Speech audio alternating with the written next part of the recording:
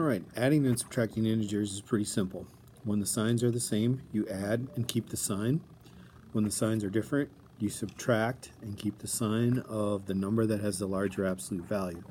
So in looking at this problem here, I got negative 44 plus a negative 14. I have two negative integers. My signs are the same, so I add them together. And when you add 44 and 14 together, you get 58.